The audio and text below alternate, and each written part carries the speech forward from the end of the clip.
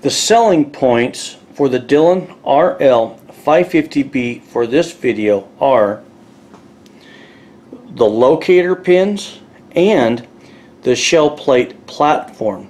Primarily this lip that you're looking at.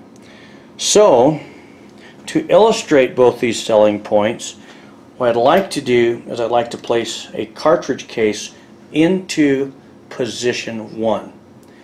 So first off, as we begin rotating around, I want you to make note that this cartridge case cannot come off of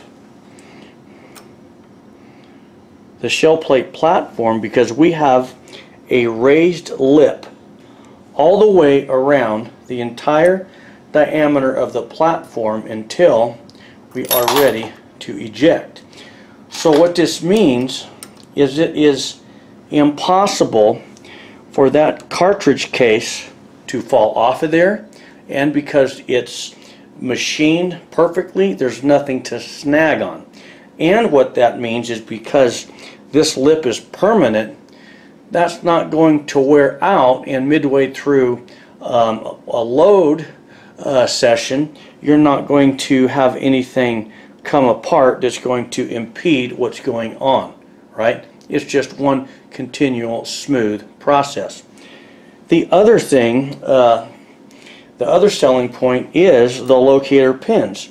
As you see, these locator pins, they position the cartridge case into each position all the way around so that that case will feed perfectly into the mouth of your reloading dies every time.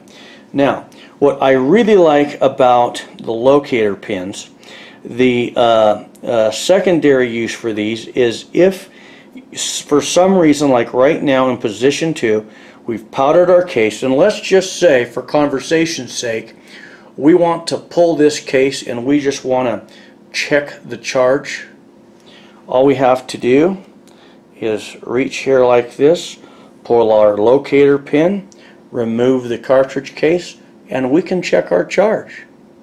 If we want, we can funnel the charge back in to the case, place it into position there, take our locator pin, there we go, we're set to go. So now we can begin rotating around into each position and when we're ready to eject, job done. The one thing I like about the locator pins is this. You cannot wear them out. These aren't like parts that if you're running high amounts of ammunition or you're just an average loader like me, you're not going to wear these out two or three times a year spending a $10 bill every year to replace them. They're going to last you the lifetime of the machine. Now, if if you lose one of these, just get a hold Dillon and purchase one. If you want to purchase two or three of them, put them back, they've got them.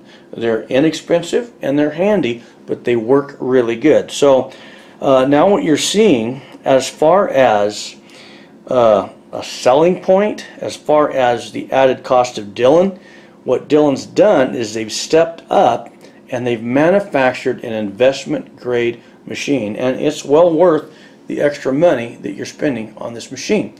So guys and gals, that's the end of this video. God bless. We'll see you on the next.